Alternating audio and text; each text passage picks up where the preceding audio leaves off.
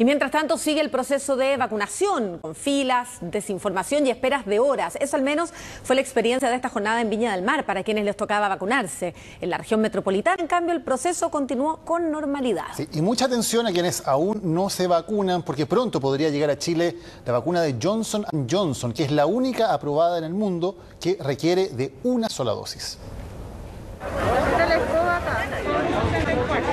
Pero si están las vacunas ahí, llegaron. No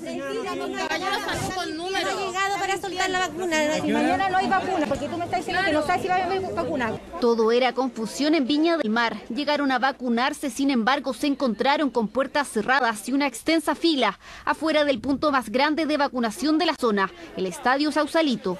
Llegamos con mi hermana a las 10 y media de la mañana. 10 y media de la mañana están esperando. Exacto. Dijeron a la una llegar las vacunas. No pasó nada. Llegamos a la una, nos dijeron que a las 3. Ahora son las 3 y todavía no llegan las vacunas. Que dicen que, que la vacuna todavía no ha llegado. Retraso en la entrega de vacunas que según el municipio de Viña del Mar se trató de un problema logístico de una bodega administrada por la Seremi de Salud de la zona. Ha provocado aglomeraciones y obviamente dificultades en el funcionamiento de los centros de salud ya que no contamos con las vacunas para poder cumplir con el calendario que el MinSal nos exige. Hemos tomado todas las medidas administrativas para corregir este hecho y asegurar que el proceso de vacunación se realice a contar de día de mañana de manera fluida y expedita. Por el contrario, en la región metropolitana el proceso de vacunación continuó con normalidad. Esta jornada fue el turno de las personas de 64 años. En el Estadio Nacional inocularon con Sinovac, vacuna de dos dosis. ¿Se imagina que solo fuera una? Estupendo, porque te evitas todo esto. Sería estupendo. O sea, solo una vez en el fondo Sí, pasar por el proceso. sí. ¿Por qué preferiría solamente una dosis? Porque, una, imagínense esta, esta cola y tuve más de una hora en esta cola, entonces yo tengo que ir a trabajar ahora. Claro. Pedí permiso un rato. O sea, si fuera solo una. Claro, pues se evita todo este. La segunda dosis va a ser igual. La doctora Rochelle Walensky acaba de aprobar la vacuna de Johnson Johnson contra el coronavirus para uso de emergencia. Se trata de la vacuna de Johnson Johnson, la primera que consta de una sola dosis y que fue recientemente aprobada en Estados Unidos para ser distribuida y aplicada a la población.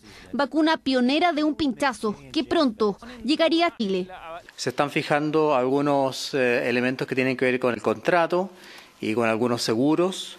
Eh, por lo tanto, no tenemos todavía una fecha exacta eh, en la cual podamos decir van a llegar esas vacunas. En primera instancia, Chile habría negociado 4 millones de dosis de Johnson Johnson, una vacuna que ha demostrado positivos resultados en los ensayos clínicos, los que también se están realizando en nuestro país. de una protección global cercana a un 60% contra infección moderada grave y que sube a 80-85% y más contra infección grave, que son las cifras que uno está buscando para avanzar en el control de la pandemia. Por el momento, esta vacuna está indicada para mayores de 18 años. A la fecha, 3.300.000 personas ya se han vacunado en Chile.